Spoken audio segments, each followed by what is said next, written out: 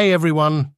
Welcome to my recap and analysis of the emotional drama The Whale, directed by Darren Aronofsky.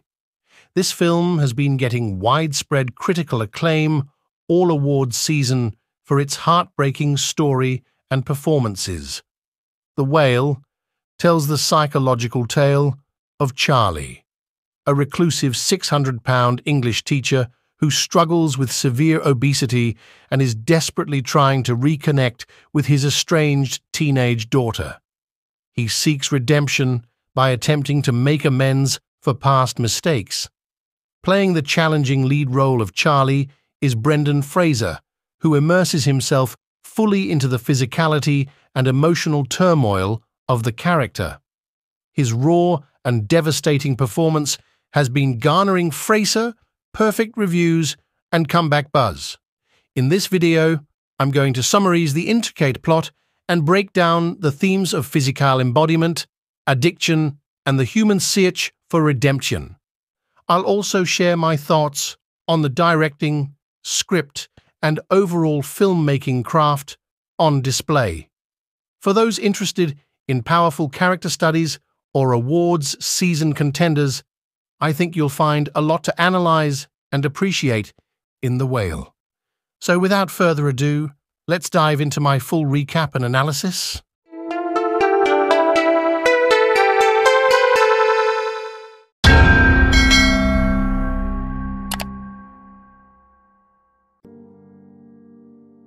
Here are the details for the 2022 movie The Whale.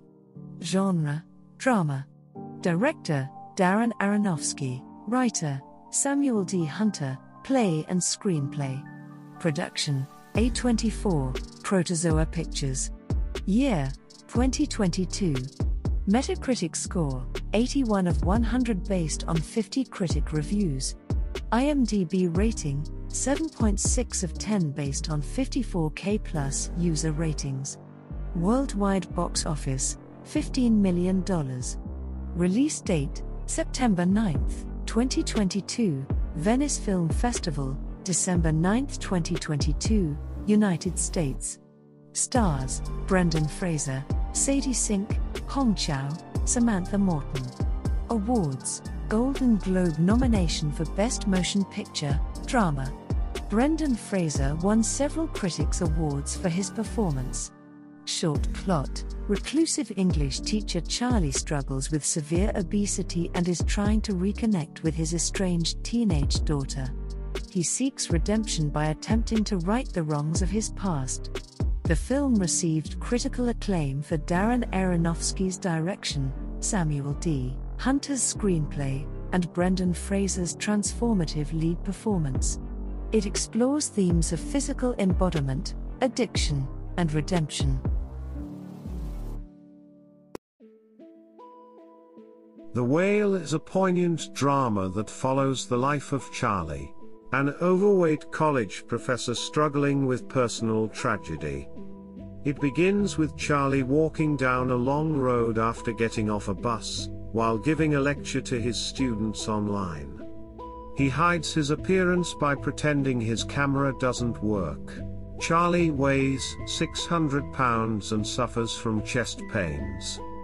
A missionary named Thomas visits him, hoping to preach the word of God. Despite their differences, Thomas reads an essay about Moby Dick to Charlie, who wants it to be the last thing he hears before he dies. Liz, Charlie's nurse and only friend, intervenes and orders Thomas to leave. Charlie frequently orders pizza from Gambino's, and the delivery man, Dan, briefly interacts with him. Charlie's estranged daughter, Ellie, visits him and resents him for leaving her and her mother, Mary. When she was young, Charlie offers Ellie a large sum of money to spend time with him and help her with schoolwork. Thomas returns to visit Charlie, and Liz confides in him about her past with New Life Church and her brother's suicide. Thomas believes he is there to bring God into Charlie's life. Liz gives Charlie a sandwich, and he chokes on it until she helps him cough up the food. Ellie continues to visit Charlie but remains distant and cold. Thomas visits again, and Ellie manipulates the situation by recording his confession about leaving New Life Church. She plans to expose him to his family in Iowa. During Ellie's last visit, Liz brings Mary to the apartment. Ellie reveals that Charlie offered her money, causing Liz to become angry as she wasn't aware of his savings.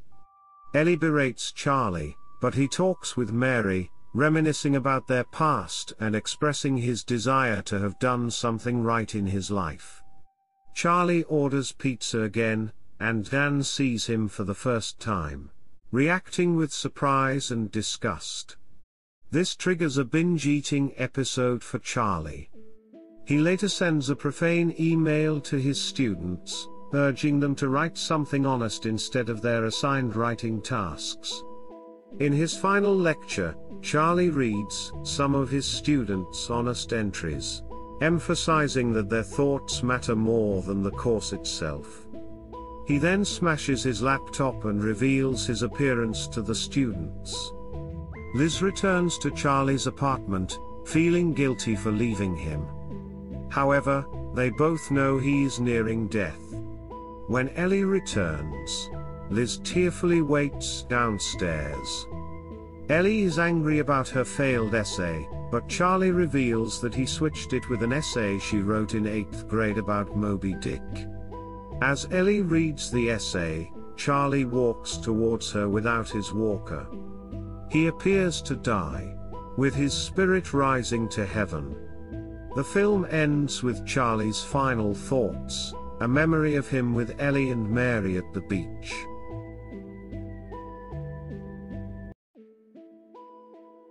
The Whale is a heart wrenching character study that delves deep into issues of physical and emotional embodiment. Brendan Fraser gives a tour de force performance as Charlie, a reclusive 600 pound English teacher trying to reconnect with his estranged daughter. The film wastes no time throwing us into Charlie's destructive daily routine of binge eating and isolation. He hides away teaching online classes, refusing to even open his front door. It's clear food is his only comfort and means of coping with deep psychological wounds. Fraser commits fully to the physical transformation, portraying the character's limited mobility and constant shortness of breath with gut wrenching realism. But he also brings profound vulnerability and humanity to Charlie's lingering sadness. The film peels back layers of Charlie's backstory through flashbacks, from his previous life as a loving gay father to what led to the demise of his marriage and estrangement from his daughter. These scenes provide needed context for his conflicted emotional state. Director Darren Aronofsky crafts intimate close ups and claustrophobic mise en scène that vividly place us inside Charlie's capsule like apartment. Like the character, viewers rarely come up for air in this suffocating, melancholy world. Sadie Sink is perfectly cast as Charlie's resentful yet compassionate teen daughter, delivering emotional nuance beyond her years. Their strained yet poignant interactions comprise the beating heart of the story. By the highly emotional climax, the whale succeeds in bringing complex humanity to a character often met with disgust or ridicule. It's a profound meditation on embodiment, addiction, and the quest for atonement, anchored by Fraser's monumental lead performance. The Whale will undoubtedly leave most viewers in tears but is essential viewing to spark discussion on societal attitudes towards issues like obesity and mental health. It rightfully deserves awards recognition this season.